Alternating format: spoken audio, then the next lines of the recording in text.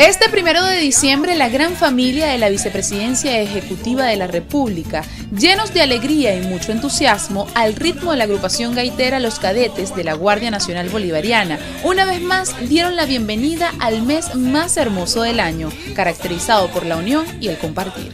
Las palabras de apertura de esta celebración estuvieron a cargo del director general de la Vicepresidencia Ejecutiva, Fidel Vázquez, quien compartió una mañana especial junto con los trabajadores y trabajadoras de esta institución, destacando que el pueblo, a pesar de la situación, ha mantenido sus conquistas en pie de lucha, pero con alegría.